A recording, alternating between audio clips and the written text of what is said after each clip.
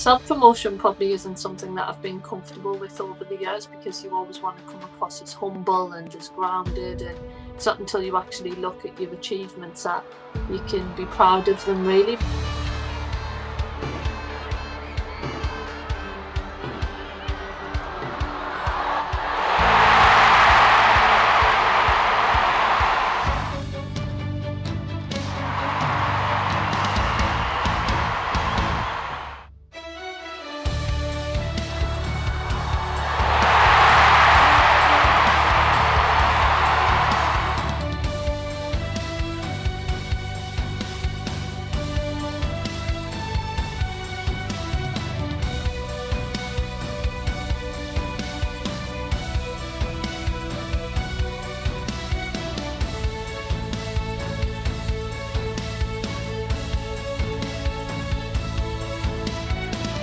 I am remarkable. I'm remarkable. I am remarkable.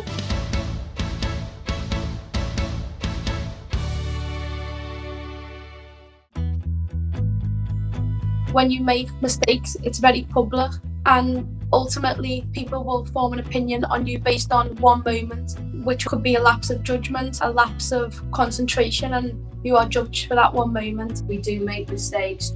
We can also be tarnished quite a lot for making mistakes, and it's quite a big burden to have. When you were younger and you play games and people would always comment saying, well, girls shouldn't be playing football. And then even as you get older, when we play for England, you still get the odd comments on social media saying, oh, well, this is rubbish, get the men's football on. And I find it quite sad that we're constantly having to, to battle with them comments.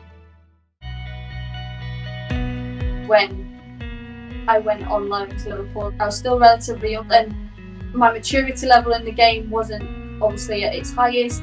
It was my first time being a professional and I genuinely truly felt that I'd failed as a, as a footballer.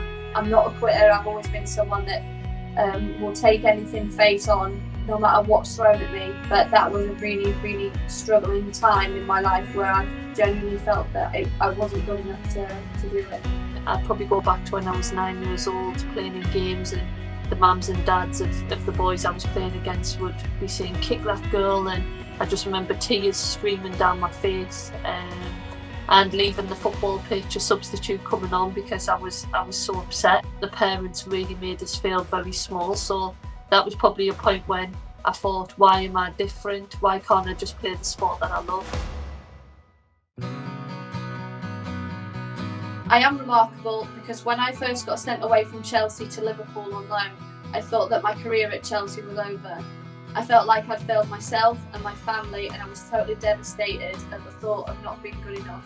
I learned how to believe in myself and prioritise my mental health, asking for help and relying on those around me to help me go through this very challenging time. I am remarkable because even though I came from a council estate in central Liverpool, I achieved my dream of becoming a professional football player. As a small girl, I had dreams that didn't even exist in the real world. Always wanted to play football, but with a big heart and a massive passion for the game, a massive work ethic, then I've gone on to achieve my dreams of playing for England over a hundred times and creating fantastic memories with my teammates.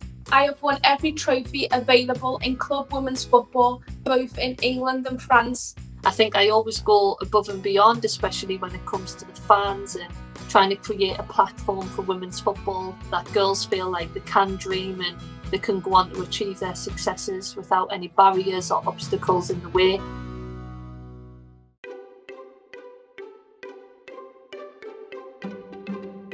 There was a lot of feelings I think that came with writing down my own achievements. I think it's very easy to turn to the negatives. If you asked me to sit there and write all the negatives, I'd have probably had two, three, four pages full.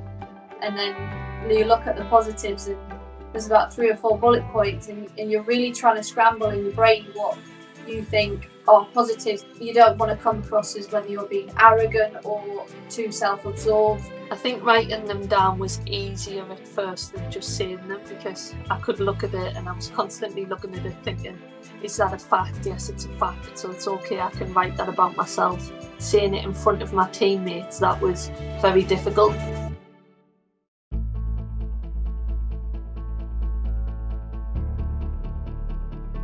Since this workshop, realizing how much you can empower other women, how much you can empower the next generation. I think I've realised that we have a responsibility to talk confidently about ourselves because if we don't, how are younger children going to talk confidently about themselves? It is important to put out there and, and let people know that you are your number one fan and that you're proud of what it is that you have achieved.